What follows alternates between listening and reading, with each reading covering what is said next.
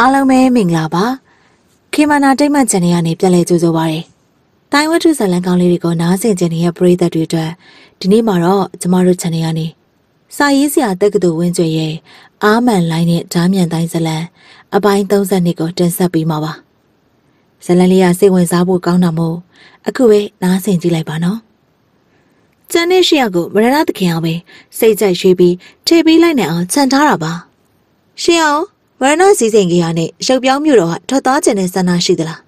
ထန်လန်ကအသွေးသွန်းဆက်တဲ့အနေနဲ့ဇန်ဝေးကိုမိလိုက်တော့တကယ်လို့ရေယူပင်ကခေါ်သွားနိုင်မယ်ဆိုရင်တော့ကျမလိုက်ချင်ပါတယ်ဇန်ဝေးကတီတူပြောပါတယ်ကောင်းပါပြီဇန်ဝေးရဲ့နာမည်ကိုလည်းစီးရင်ထဲမှာထည့်လိုက်ပါရေယူပင်ကတူစိမ့်ကိုပြောပါတယ်တူစိမ့်ကလည်းစုတ်တန်ကိုကိုင်းကစာရွက်ပေါ်မှာဇန်ဝေးရဲ့အမည်ကိုထည့်ဖြည့်ရေးပေးလိုက်ပါတယ်ရေယူပင်ကိုကျမတခုပြောချင်ပါတယ် စန်းဝေးကရင်းရုပ်ပင်ကိုလမ်းပြောတယ်။ပြောပါပြောနိုင်ပါလေ။ရှင့်အနေနဲ့အစိတ်သူစာမောင်းဝေကိုခုံမသွားချင်ဘူးလား။စန်းဝေးရဲ့စကားကြောင့်ရင်းရုပ်ပင်အတော်အံ့ဩသွားပါတယ်။ခမည်းပြောတဲ့အစိတ်သူစာမောင်းဝေဆိုတာအစိတ်မြုပ်တွေအဖွဲကအစိတ်သူစာကိုပြောတာလား။ဟုတ်ပါတယ်။သူကလည်းအခုမရဏသခင်ရဲ့လက်အောက်ကိုရှောင်းနေရလား။ဟုတ်တယ်ရှင်။အခုမရဏသခင်စီးစိမ်ကြရမှာရှိနေရပေါ့။ရှိနေပါတယ်။ ကျွန်တော်ကခေါ်ပြီးမြဲ तू ကလိုက်ချင်ပါမလား तू ကလိုက်ချင်တယ်မလိုက်ချင်ဘူးဆိုတော့စကားတွေထည့်ပြောမနေပါနဲ့တော့ရှင်ရှင်ကသာခေါ်သားမယ်ဆိုရင် तू လိုက်ရမှာပါဒီလိုဆိုရင်စင်းရင်ထဲမှာအစိတ်သူစာမောင်းဝေရဲ့နာမည်ကိုပါထည့်လိုက်ပါအောင်ဒီတော့တူစိမ့်ကလည်းစင်းရင်စာရွက်ထဲမှာအစိတ်သူစာမောင်းဝေရဲ့နာမည်ကိုဖြည့်ဆက်ကရေးပေးလိုက်ပါတယ်ဒီတော့အားလုံး14ဦးရှိသွားပါပြီကျင်းင်း6ရက်ကိုတော့မရဏသခင်ကပဲရွေးချယ်ထည့်ပေးနိုင်အောင်စံထားလိုက်တော့မေး ကဲဒီစီရင်ကိုဗရဏသခင်စီကိုသာပို့ပေးလိုက်ပါတော့ရေယူဖိန်ကအဲ့လိုပြောပြီးတူစိန်ကစရင်စာရွက်ကိုယူကစမ်းဝေးကိုပေးလိုက်ပါတယ်ဟုတ်ကဲ့ကျမအမြန်ဆုံးပို့ပေးလိုက်ပါမယ်စံဝေးကအဲ့လိုပြောပြီးအမြင့်စင်းစာရွက်ကိုယူက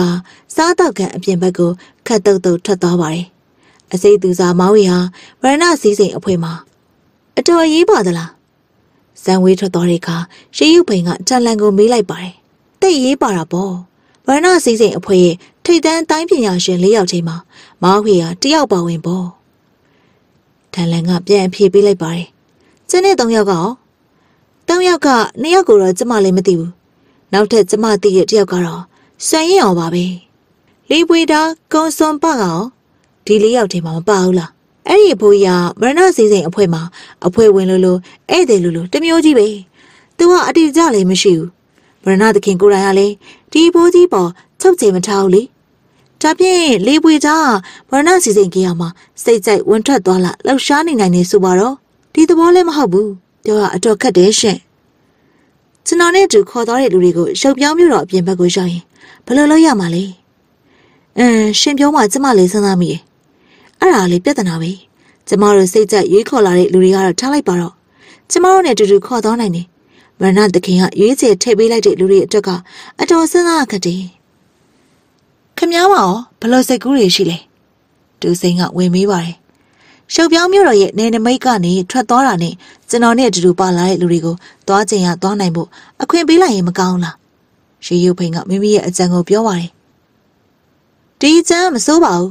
ဒါပေမဲ့ကျွန်တော်တို့စီးရင်ပြီးခေါ်ထားတဲ့လူတွေထွက်သွားကုန်ပြီဗရဏသခင်ထည့်ပေးလိုက်တဲ့လူတွေပဲကျွန်တော်တို့နဲ့ကြံနေခက်မယ်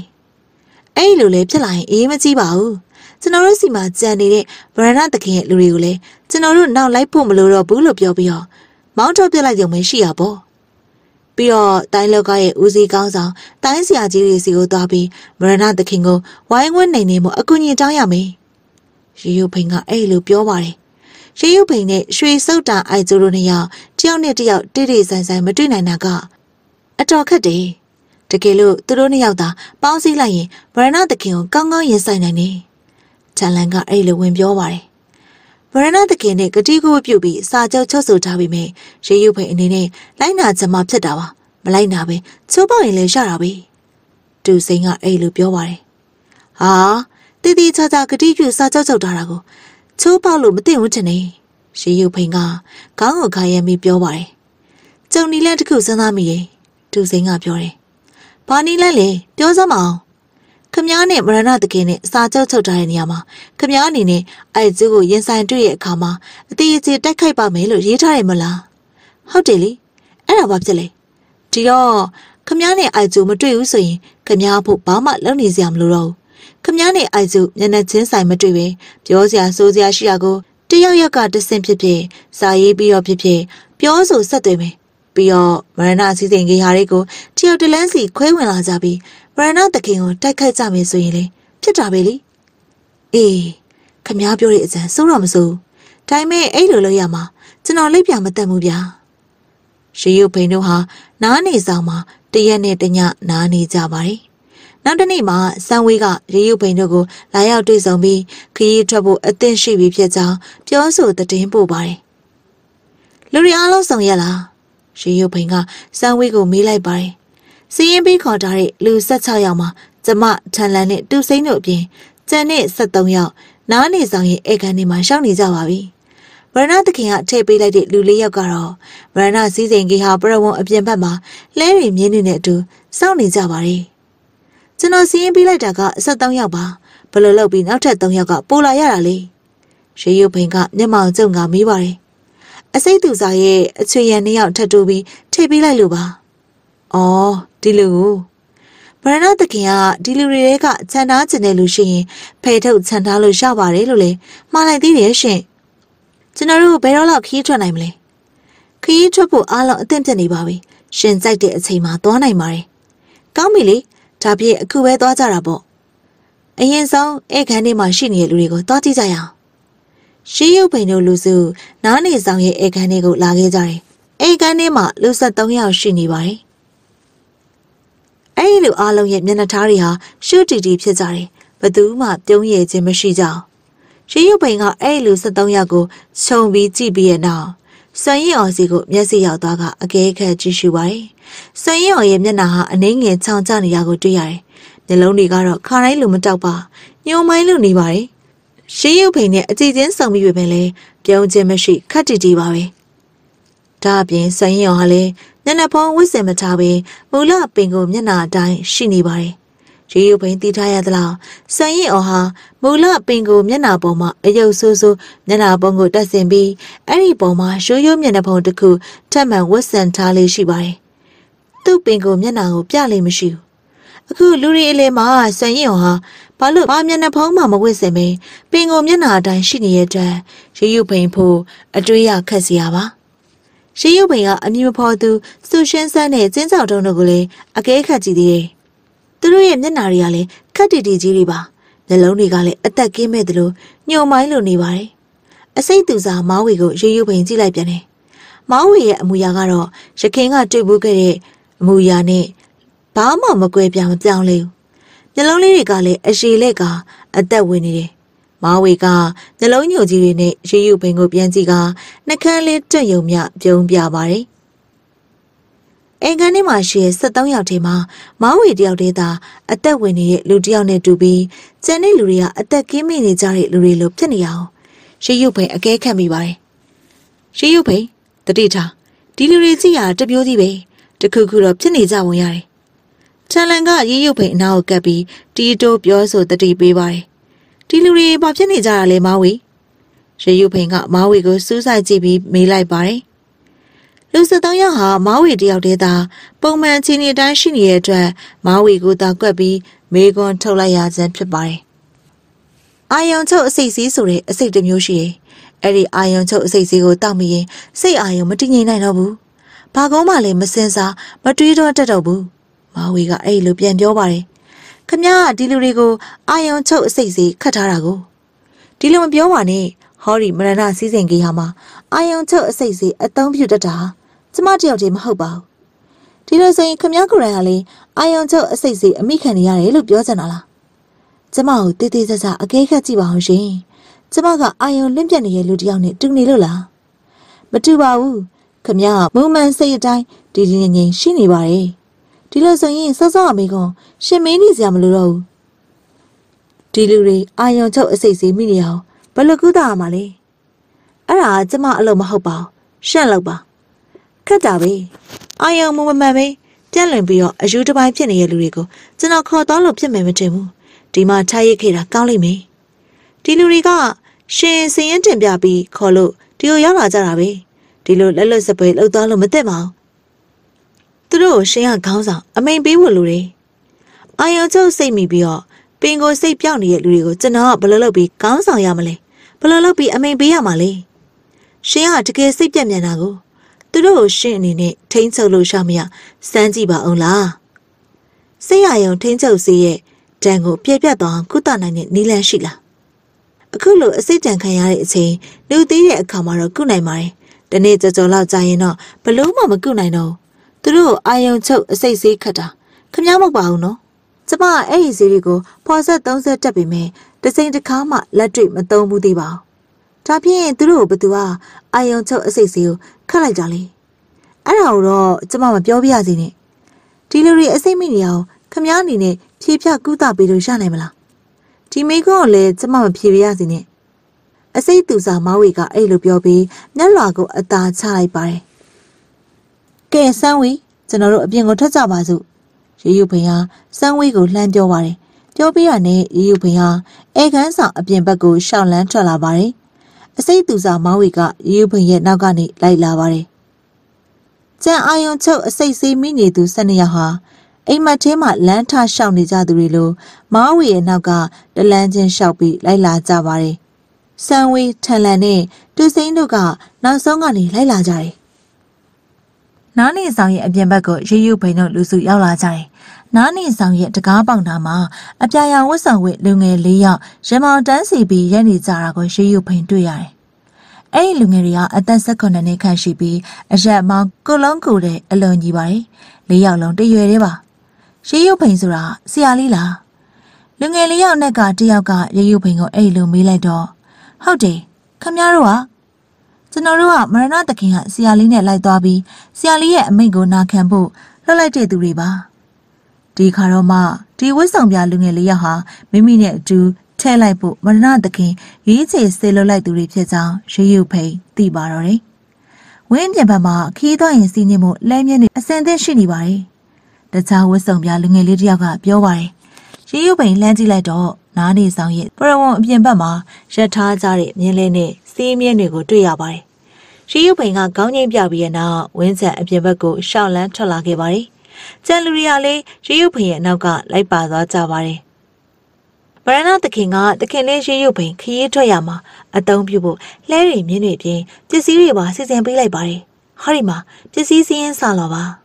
။မြင်းလဲမောင်းသမားခေါင်းဆောင်ပြန်တူသူကရေယူဖိန်ကို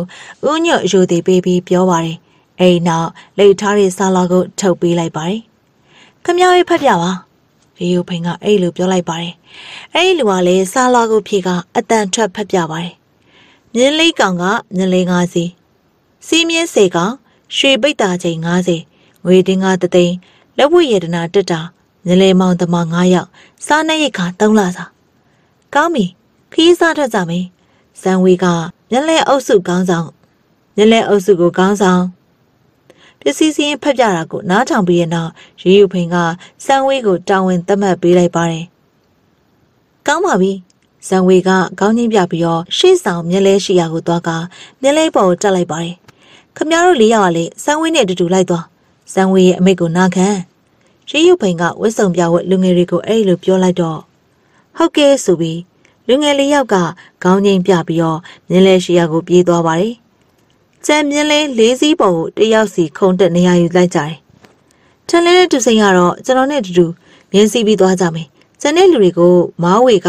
တာဝန်ခံပြီးမြင်းလဲတွေပေါ်မှာညတင်ခေါ်သွားပါ။ရှိရုပ်ဖိန်ကဆက်ပြောပါတယ်။မားဝေဟာအာယုံချုပ်အစိတ်စေးအမိခံနေရသူ၁၂ယောက်ကိုမြင်းလဲတွေပေါ်မှာကူတွဲကတင်ပေးလိုက်ပါတယ်။အဲ့လူ၁၂ယောက်ဟာမောင်ဝေရဲ့အမိန့်ကိုနာခံကြတာကိုသတိဖိန်သတိပြုမိပါတယ်။ အဲ့ဒီနောက်ရေယူဖိန်ထန်လန်နဲ့တူစိန်တို့ဟာစီးမြင်း၅စီးအနက်ကနေမြင်း၃ကောင်ရွေးကတက်စီးကြပါတယ်။ကျန်မြင်းနှစ်ကောင်တော့လဲအုပ်စုတာဝန်ခံဖြစ်တဲ့စမ်းဝေလက်ကိုအပ်လိုက်ပါတယ်။ပြင်ဆင်မှုအလုံးပြီးတဲ့အခါရေယူဖိန်တို့၃ယောက်ကမြင်းတွေကိုစီကရှေ့ဆောင်ပြီးတော့ခရီးစတင်ထွက်လာခဲ့ကြပါတယ်ရှေးရုပ်ဖိန်ထန်လန်နဲ့တူစိမ့်တို့ရဲ့မြင်းသုံးစီးကမြင်းလဲအုပ်စုရဲ့ရှေ့ပေဒီယာခန့်အကွာမှာရှေ့ဆောင်ကစီးနှင်းလာခဲ့ကြတယ်။ မကြာမီမှာပင်ရှုပ်ပြောင်းမြို့တော်နယ်နိမိတ်ရဲ့အပြင်ဘက်ကိုရောက်လာကြတယ်။ဗရဏသခင်အတော်ပညာပါတယ်။ကျမတို့အတွက်လဲတွေမြင်းတွေစားနေခါတွေပစ္စည်းရောက်စားတွေအပြည့်စုံထည့်ပေးလိုက်ပြီမေ။ကျမတို့နဲ့ခေါ်သွားရမယ့်လူ၁၂ယောက်ကိုတော့စိတ်မူမမှန်ပဲဖြစ်အောင်စိတ်ကလွတ်လိုက်တာခရီးသွားရင်အဲ့ဒီလူတွေနဲ့ကျမတို့ထိတ်တိုက်ရင်ဆိုင်တွေ့ကျင်တွေ့ရမယ်တနေ့ရှုပ်ပြောင်းမှုတို့ရဲ့နေနမိတ်အပြင်ဘက်ကိုထွက်လာပြီးတဲ့အခါထန်လန်ကအဲ့လိုပြောပါတယ် ဒီကိစ္စနဲ့ပတ်သက်ပြီးကျွန်တော်တည်တည်ကြကြစဉ်းစားကြည့်အဲ့ဒီလူတွေကိုအာယုံချုပ်အစိတ်စည်းတိုက်ပြီးမူမှန်စိတ်ပြောင်းလုပ်လိုက်တာဟာကျွန်တော်တို့ကိုအနောက်ရှက်ပေးစင်လို့ဟုတ်မယ်မတင်ဘူးဒါဖြင့်ဘာရည်ရွယ်ချက်နဲ့လုပ်တာလဲရီယူဖင်ရဲ့ကျွန်တော်တို့ကိုအန်ရီပေးချင်နေဆိုရင်ရှုပ်ပြောင်းမျိုးတော်ကနေထွက်ခွင့်အောင်ပြီးမှာမဟုတ်ဘူးအခုလိုလှုပ်လိုက်တာဟာရွှေစုတ်တန်အိုက်ဂျိုကိုအန်ရီပေးဖို့အတွက်ဖြစ်လိမ့်မယ်လို့ကျွန်တော်ထင်ပါတယ်ရေရုပ်ဖိန်ကမိမိရဲ့ထင်မြင်ချက်ကိုပြောပြပါတယ်။အမ်ဟုတ်တယ်။ ရေရုပ်ဖိန်တွေးတာဖြစ်နိုင်တယ်။တူစိန်ကကောင်းချင်းကထောက်ခံပါတယ်။အာယုံချုပ်အစိတ်စီးအမိခံထားရတဲ့လူတွေကိုအစိတ်သူစာမောင်ဝေကထိန်းချုပ်ထားမယ်လို့လေကျွန်တော်အကဲခတ်မိရေ။မောင်ဝေကိုကျွန်တော်တို့ဘက်ပါလာအောင်တင်းသွင်းနိုင်ရင်အာယုံချုပ်အစိတ်စီးမိနေတဲ့လူ၁၂ယောက်ကိုမူမှန်စိတ်ပြန်ဖြစ်အောင်လုံနိုင်စရာအကြောင်းရှိတယ်။ရေရုပ်ဖိန်ကအဲ့လိုပြောပါတယ်။အဲ့လိုလုံနိုင်ဖို့ကျမအကြံတစ်ခုစဉ်းစားမိတယ်ထန်လန်ကလည်းဝင်ပြောပါတယ်။ပြောကြည့်စမ်းမအောင်ထန်လန် ပထမဆုံးစိတ်သူစာဟာဒုစရိုက်လောကကိုကြောခိုင်းဆုံးကခြင်းစိတ်ရှိသလားဒါမှမဟုတ်မရဏသခင်ရဲ့ဩဇာကိုဆက်ပြီးတော့နာခံခြင်းသလားဆိုတာကိုသိရအောင်ဖော်ထုတ်နိုင်ဖို့လိုတယ်ဟုတ်ပြီဘလို့နည်းနဲ့ဖော်ထုတ်မှာလဲကျမတို့ကစည်ရင်ဖော်ပြပြီးခေါ်လာတာမဟုတ်ပဲမရဏသခင်ကိုယ်တိုင်ထည့်ပေးလိုက်တဲ့ဝစ်စုံပြလူငယ်လေးယောက်နဲ့မောင်းဝေနဲ့ရင်ဆိုင်တက်ခတ်ရအောင်ဖန်တီးပေးရမယ်ဒီလိုစမ်းသပ်လိုက်ရင်မာဝီဟာဗရဏသခင်ပေါ်အဆက်ဖြတ်လို့စိတ်ရှိမရှိသိနိုင်မယ်လေ ဒီချက်မစိုးထိုင်မဲ့သူတို့တိုက်ကြခတ်ကြရင်လက်လုံချေလွန်ဖြစ်ပြီးတော့တီကောင်ကြရင်တော့မကောင်းတနေဒါကတော့တိုက်ခတ်နေအောင်ရှင်ကဘေးကနေပြီးအကဲခတ်ကြည့်နေပေါ့လက်လုံချေလွန်ဖြစ်တော့မဲ့အခြေအနေမျိုးရောက်လာရင်ရှင်ကကြားဝင်ပြီးတော့ဖြန့်ပြေးပေးလိုက်ရင်ရတာပဲလေမောင်ဝီကအစိတ်ကိုတုံးလိုက်ရင်ခက်လိုက်မယ်မောင်ဝီဟာအစိတ်ပညာကျန်းကျင်ပေမဲ့စိတ်ထားမခတ်တံမကြမ်းကြုပ်ပါဘူးအစိတ်ကိုလက်လွတ်စပဲတောင်းမယ်လို့မထင်ဘူး ဗရဏသခင်ထည့်ပေးလိုက်တဲ့ဝက်ဆောင်ပြလူရယ်လေးယောက်ဘယ်သူပဲဝါရီလဲဆိုတာရောခမရတို့သိကြလားဟမ်မသိဘူးထန်လန်ကခေါင်းကိုခိုင်ရမ်းပြီးပြန်ဖြေပါတယ်ကျုပ်လည်းမသိဘူးသူတို့ကမရဏသခင်ကိုယ်တိုင်တီးတက်လေးကျင့်ပေးထားတဲ့တိုင်းသမားတွေဖြစ်မယ်လို့ထင်ရတယ်တူစိန်ကအဲ့လိုပြောပြပါတယ်ရေရုပ်ဖိန်ကကျွန်တော်တို့ခီးထွက်မယ့်အချိန်တွေအများကြီးရှိသေးတယ်ဒီတော့တက်မှာသူတို့ကိုတေးသေးချာချာအကဲခတ်ကြည့်ကြတာပေါ့ ခီးထွက်လာတာနှစ်ရက်ရှိသွားပြီဖြစ်ပါတယ်အဲ့ဒီအချိန်မှာရေယူဖိန်ကအချိန်လေးကိုအကဲခတ်ကြည့်လာခဲ့တယ်ဒါပေမဲ့ထူးခြားချက်ကိုမတွေ့ရပါဘူးအာယုံချုပ်အစိတ်စီးမိနေသူ၁၂ဦးတို့ဟာအသိဉာဏ်မရှိသူတွေလိုငင်းငိုင်နေကြမြဲဖြစ်ပါတယ်ဝိဆုံပြဝိလူရယ်လေးယောက်ကတော့ရေယူဖိန်ကိုလေးလေးစားစားဆက်ဆံနေရေယူဖိန်ရဲ့အမိန့်ကိုကောင်းစွာနာခံပါတယ်အစိတ်သူစာမောင်းဝေကတော့မျက်နှာချင်းမဆိုင်ရအောင်ရှောင်နေပါတယ်။ မလဲမရှောင်တာပဲမျက်နှာချင်းဆိုင်မိကြသောအခါတွေမှာလေမောင်ဝီဟာဝစ်ချီတန်းချီသာပြောဆိုပါတယ်။တောင်းရက်မြောက်ခီးညင်ခဲ့ပြီးညနေချိန်မှာသူတို့လူစုဟာတပင်ထူထပ်တဲ့တောတစ်ခုလေးကိုရှောက်လာခဲ့ကြတယ်။ရေယူဖင်ကအဲ့ဒီနေရာမှာတညတာစခန်းချဖို့အမိန်ပေးလိုက်ပါတယ်။ညင်လဲတွေကိုတစ်ပင်လေးအောက်မှာရနာလိုက်ကြပါတယ်။ရေယူဖင်ကဟိုတီတီလန်းကြည့်ရာ ခလန်းလန်းမှာတစ်ပင်တွေမပေါက်ရောက်ပဲမြေကွက်လက်ဖြစ်နေတဲ့နေရာလေးကိုတွေ့ရပါတယ်။အဲ့ဒီနေရာမှာမြက်ခင်းပြင်ဖြစ်နေပြီးတော့အတော်တန်ကျဲဝဲပါတယ်။တိုင်းပညာရှင်ပြန်တိုက်ခိုက်ဖို့တင့်တော်တဲ့နေရာတစ်ခုပဲဖြစ်ပါတယ်။ရှိရုပ်ပင်အကြံရှိလို့မောင်ဝေနဲ့ဝစ်စုံပြလူငယ်တို့ကိုခေါ်သွားကြောင်းအကဲခတ်မိတဲ့အတွက်ထန်လန်းနဲ့တူစိမ့်တို့ကရေရုပ်ပင်နောက်ကိုလိုက်မသွားကြအောင်။ညလဲတွေရှိရမှာချန်နေရပြီးအဝေးကနေသာမတိမတာလမ်းပြီးအကဲခတ်ကြည့်နေပါတယ် ခမရတို့သူ့ကိုသိကြသလားမြက်ခင်းပြင်ကွက်လက်လေးကိုရောက်တဲ့အခါရယူဖိန်ကမားဝေကိုမိန်ငော့ပြပြီးဝတ်ဆောင်ပြဝတ်လူငယ်တွေကိုမေးပါတယ်သိပါတယ်အစိတ်တခင်မလေးမားဝေပါဝတ်ဆောင်ပြဝတ်လူငယ်တွေကလူငယ်တယောက်ကပြန်ဖြေပါတယ်ကျန်တော့ရက်ကတော့ပြန်တူကောင်းကြီးပြလိုက်ကြတယ်ဟုတ်ပြီမားဝေကရောသူတို့လေးရက်ကိုသိသလားသူတို့အရှင်ကတခါမှတွေ့ဘူးပါဘူး ဒါပေမဲ့သူတို့ဟာမရဏသခင်တည်တဲ့လေးကျင်ပေးထားတဲ့လူငယ်တိုင်းသမားတွေဖြစ်မှန်းသိပါတယ်။မောင်ဝေကပြန်ဖြေပေးလိုက်ပါတယ်။အာယုံချုပ်စိတ်စီမိနေတဲ့လူ၁၂ယောက်ဘယ်အချိန်ခါမှအစိတ်ပြန်ပြေသွားမလဲ။သူ့လိုလိုနေရင်တော့အစိတ်ပြန်မပြေနိုင်ဘူး။အစိတ်ပြန်ပြဲသွားဘလို့နီးနဲ့ကုသပေးနိုင်တယ်လေအစိတ်ဖြည့်စီရောရှိလားဒါရီယိုဘာကြောင့်ကျမကိုလာမေးနေရတာလဲရှစ်မသားရှင်နီလန်းရှာပြီးတော့ကုသပါလားဒီမေမောင်းဝေ တိတ်ပြီးတော့တင်းတင်းမာမာလုံနေပါနဲ့ကောင်းကောင်းမွန်မွန်ပြောလို့မရရင်ခမရဲ့လက်တစ်ဖက်ကိုဖြတ်ပြီးမျက်လုံးတစ်ဖက်ကိုနှိုက်ထုတ်ပြရမယ်ရေယိုဖိန်ကမျက်နှာထားတီတီနဲ့ချင်းချောင်းလိုက်ပါတယ်ရေယိုဖိန်ဟာအခုလိုချင်းချောင်းလာလိမ့်မယ်လို့မောင်းဝေနားမထောင်ခဲ့ပါဘူးဒါအပြင်ရုတ်တရက်ဘာပြန်ပြောမှမသိပဲရေယိုဖိန်ကိုကြာအန်းအန်းနဲ့ကြည့်နေပါတယ်ကဲဘယ်လိုလဲမောင်းဝေ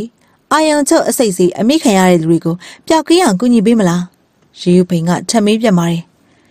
ဒီကိစ္စကျမမတက်နိုင်ဘူးမာဝီကပြန်ပြောပါတယ်ဒီလိုဆိုရင်ကျွန်တော်လေးညှာမနေတော့ကဲကုတ်လူတို့မာဝီရဲ့ညာလက်မောင်းကိုဖြတ်ပြီးညာမျက်လုံးကိုဖောက်ထုတ်ပြလိုက်ကြစမ်းရေယူဖိန်ကဝစ်စုံပြလူငယ်လေးယောက်ကိုအမိန်ပေးလိုက်ပါတယ်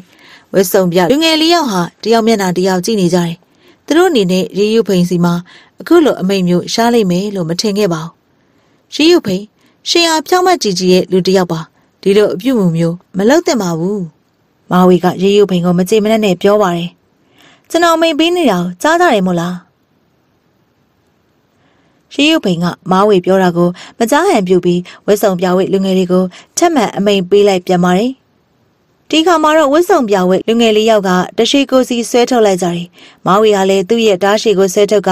ဝစ်စုံပြဝဲလူငယ်တွေနဲ့မျက်နှာချင်းဆိုင်အင်းဆိုင်လိုက်ကြပါတယ်။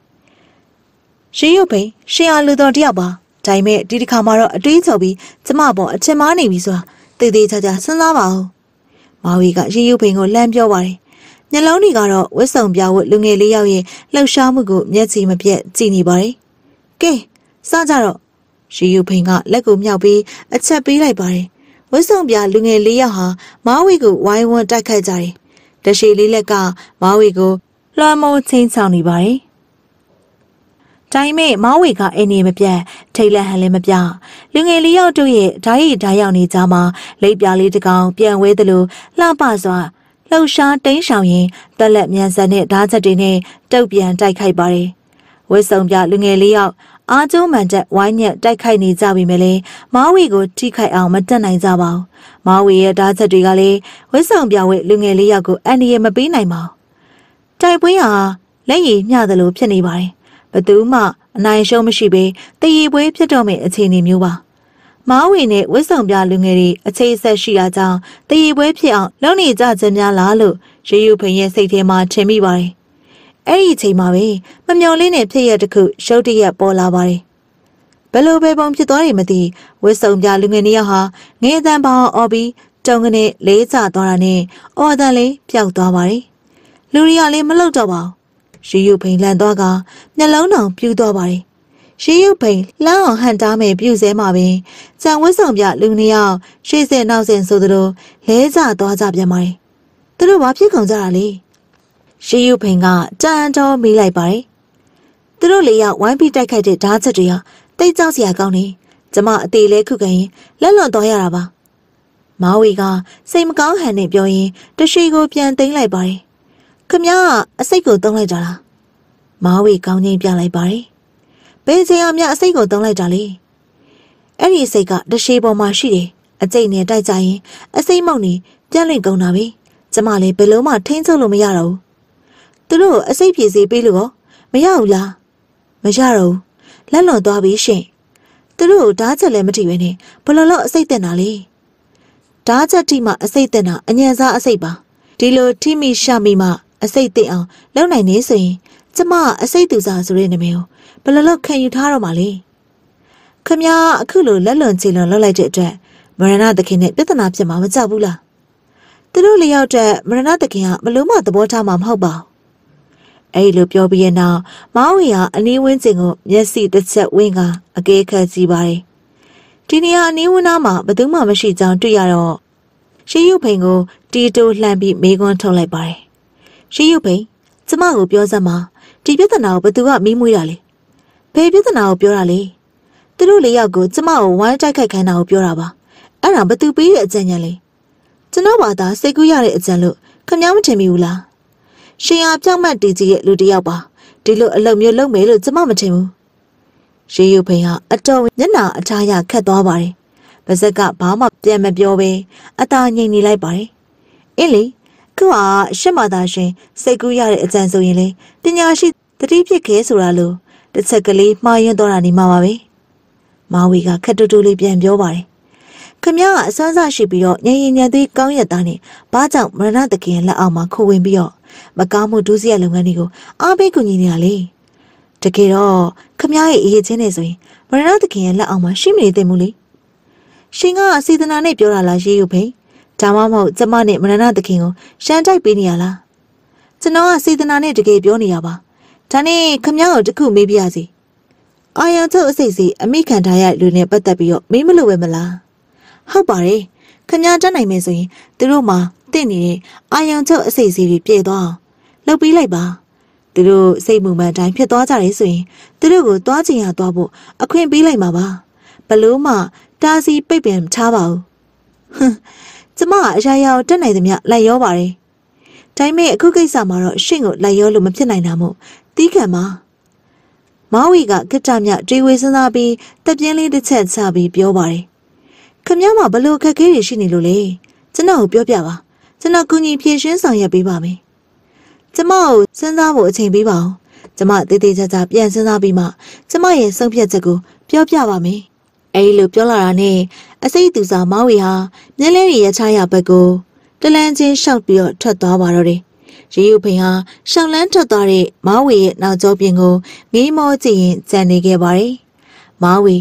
မြင်းလဲရီရထားတဲ့နေရာကိုပြန်ရောက်သွားတဲ့အခါမှာတော့အဝေးကနေလမ်းကြီးအကဲခတ်နေကြတဲ့ထန်လန်းနဲ့တူစိမ့်တို့နှစ်ယောက်ရေယူဖိန်ရှိရာကိုရှောင်းလန်းလာကြတယ်။ဒါကဘလို့ဖြစ်ကုန်ကြတာလဲ။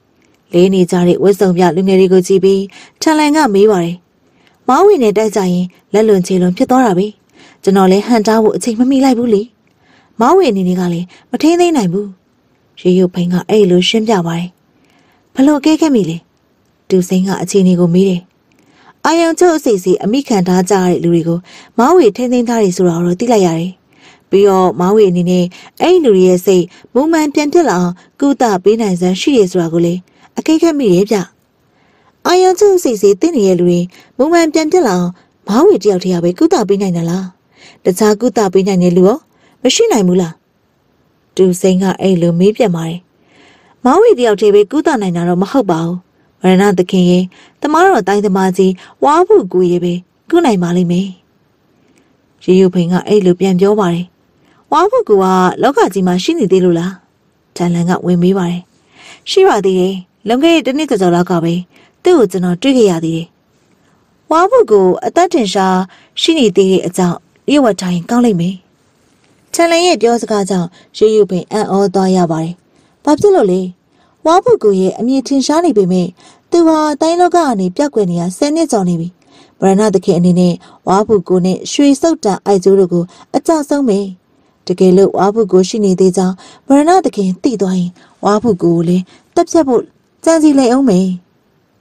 ကျွန်တော်ကအာယုံချုပ်အစီအစီအမိခံကြရဲ့လူတွေကိုဝါဖုကိုစီပို့ပြီးစိတ်ကူးတာမယ်လို့ကြံထားတာဒီတိုင်းဆိုရင်ဒီအကြံလက်လျှော့ရတာမလို့ဖြစ်နေပြီလေဝါဖို့ကိုစီကိုသွားမဲ့အကြံကိုလက်လျှော့လိုက်ပါမောင်ဝီကိုပဲကုသပေးဖို့ပြောဆိုဖြောင်းပြတာပိုကောင်းလိမ့်မယ်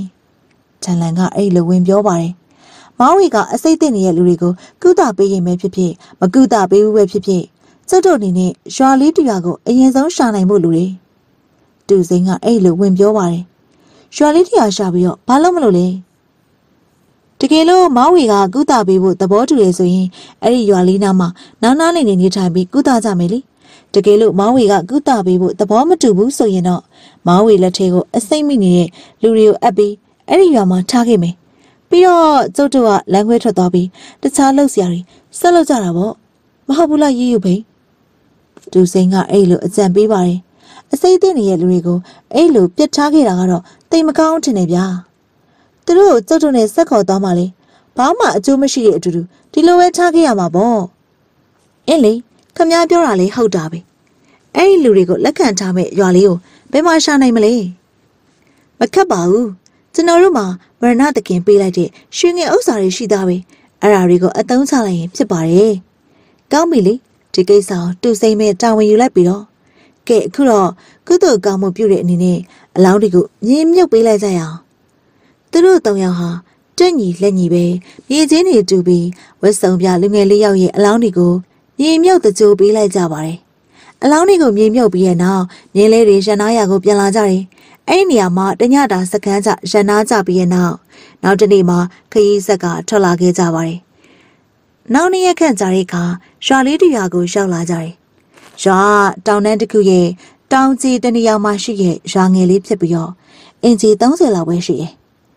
သူစိမ်းကအဲ့ဒီရွာမှာရှိရဲ့အိမ်တွေအားလုံးကိုဝယ်ယူလိုက်ပြီးတော့အသစ်တပံပြန်လဲမုံမှန်စေပါတယ်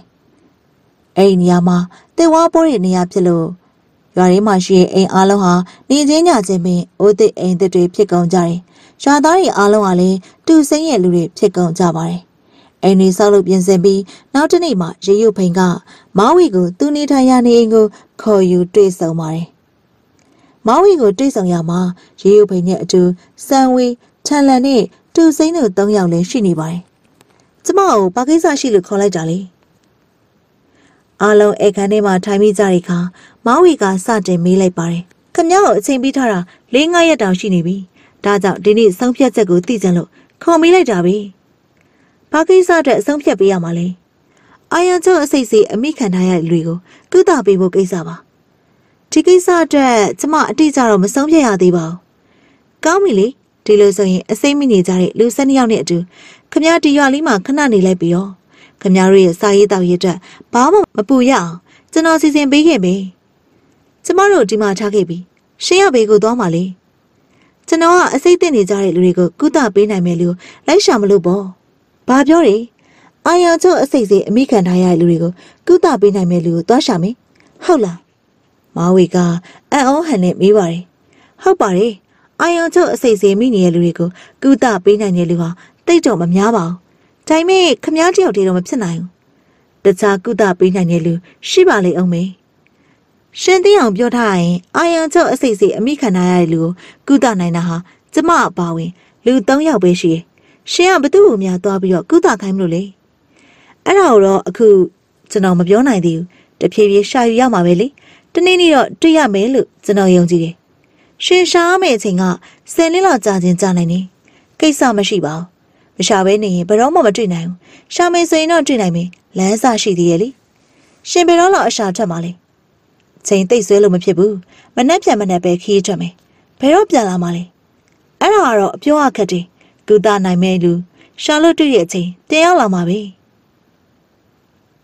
ပရိသတ်များရှင်အခုတင်ဆက်ပေးနေတဲ့စာရေးဆရာတက္ကသိုလ်ဝင်းကျွေရဲ့အာမန်လိုင်းနဲ့ဓားမြန်တိုင်းဇလံအခန်းဆက်လေးကိုကျမတို့ခေမနာတိတ်မှန် channel ကနေတင်ဆက်ပေးဦးမှာမို့ပရိသတ်တွေကအမြဲမပြတ်စောင့်မျှော်ပြီးတော့အားပေးနားဆင်ပါအောင်နော်နားဆင်အားပေးခဲ့ကြတဲ့ခေမနာတိတ်မှန်ပရိသတ်တယောက်ချင်းစီတိုင်းကိုကျေးဇူးအများကြီးတင်ပါတယ်